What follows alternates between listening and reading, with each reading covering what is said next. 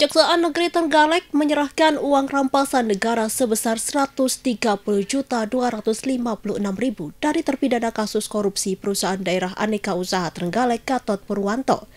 Uang tersebut disetorkan ke rekening kas umum daerah Kabupaten Trenggalek dengan cara non-tunai atau transfer. Secara simbolis, Kepala Kejari Trenggalek Muhammad Akbar Yahya menyerahkan bukti transfer tersebut kepada Kepala Badan Keuangan Daerah Kabupaten Trenggalek Suhartoko pada Kamis 18 Januari 2024. Sementara itu, Kasih Pitsus Kejari Trenggalek Gigih Rendra mengatakan kasus korupsi PDAU Trenggalek merupakan satu rangkaian dengan perkara korupsi mantan Bupati Trenggalek Soeharto.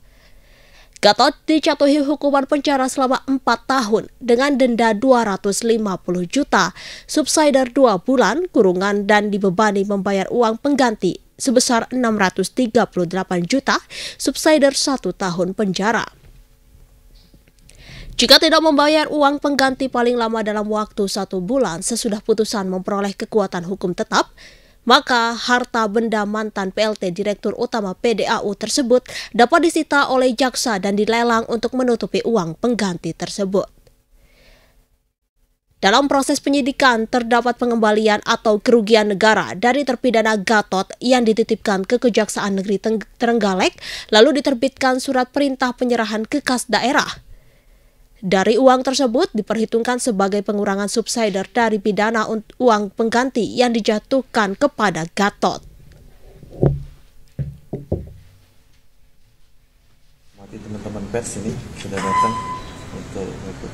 Uh, kami dari Kejaksaan Negeri Trenggalek, saya ada Pak Kasintel, ada Pak Kasipitsus, ada dari pihak uh, dari Pemda daerah. Uh, jadi kami uh, dari bidang pitsus yang kebetulan kewenangan kami selaku jaksa selaku eksekutor uh, ada terkait dengan terpidana Dr. Andes Gatot Purwanto MSI bin Supardi yang ya ini kronologinya saya jelaskan sedikit bahwa terpidana atas nama Dr. Andes Gatot Purwanto MSI bin Supardi telah mempunyai kekuatan hukum tetap untuk uh, jadi dia sudah terpidana sudah masuk sudah inkrah perkaranya bahwa terpidana atas nama Dr.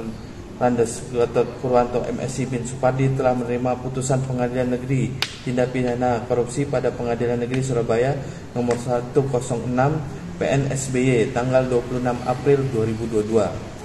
Dalam perkara ini tindak pidana korupsi atas nama terdakwa Gatot ini e, nanti secara teknis dan e, terkait dengan pengam, e, pengembalian ini apa penyetoran ini e, nanti saya serahkan ke Pak Kasipitsus dan bahwa untuk ter, dapat uang tunai sebesar 130 juta 256 ribu yang telah dirampas untuk negara untuk membayar uang pengganti dan telah disetorkan ke kas daerah Kabupaten Trenggalek.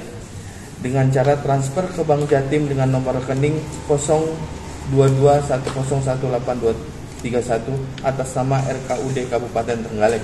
Nah, waktu dan tempat Pak Kasih itu bisa dijelaskan? Oke, terima kasih atas waktunya yang saya hormati Bapak Kajari, yang saya hormati Bapak Kepala Bagian Aset ya, Kepala Badan ya, Kepala Badan Keuangan Daerah Kabupaten Trenggalek yang saya hormati Pak Kasintel, saya di Trenggalek, dapat kita sampaikan progres penanganan perkara atas nama Gatot Purwanto, terpidana Gatot Purwanto. Yang mana perkara Gatot Purwanto ini telah memperoleh kekuatan hukum tetap berdasarkan putusan nomor 160 106 tanggal 26 April 2022 merupakan sebutan dari perkara Pak Soeharto yang merupakan mantan Bupati Trenggalek serta terpidana yang sekarang masih upaya hukum PK atas nama Tatang Istiawan. Nah, dalam perkara ini sudah memperoleh kekuatan hukum tetap dipidana penjara selama 4 tahun dengan denda 250 juta subsidiar 2 bulan kurungan dan dibebani untuk membayar uang pengganti sebesar 638 juta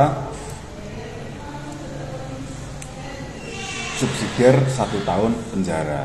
Yang mana dalam proses penyidikannya ini masih terdapat pengembalian dari saudara Gatot, terpidana Gatot ini yang dititipkan ke rekening penampungan lainnya di Kejaksaan Negeri Trenggalek. Untuk pelaksanaan untuk pelaksanaannya maka pada hari ini telah dilakukan diterbitkan surat perintah penyerahan surat perintah penyerahan uang tersebut ke Kasda karena bunyi dalam putusannya di, dibayar diberi di, dirampas untuk negara untuk disetorkan ke kas daerah melalui kas daerah Kabupaten Trenggalek.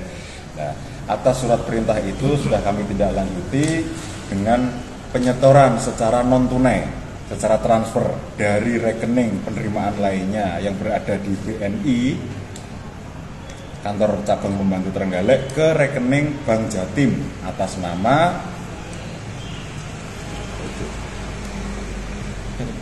RKUD RKUD rekening atas nama RKUD Kabupaten Trenggalek sejumlah 130 juta 256 ribu rupiah. Untuk itu uang ini nantinya diperhitungkan sebagai pengurangan subsidiar dari pidana yang dijatuhkan kepada pidana uang pengganti yang dijatuhkan kepada si terpidana Gatot Purwanto ini. Setelah dilakukan perhitungan dari 130 juta ini subsidiarnya 73 hari perhitungannya. 73 bulan. 73 hari sehingga masih sisa 9 bulan 17 hari untuk penghitungan subsidiarnya. Demikian yang dapat kami sampaikan.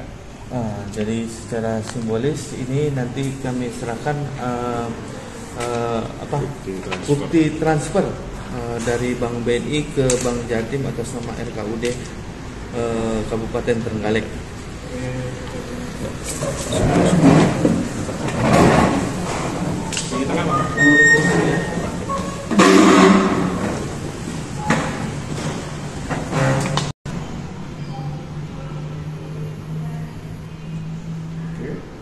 Download Tribun X sekarang. Menghadirkan lokal menjadi Indonesia.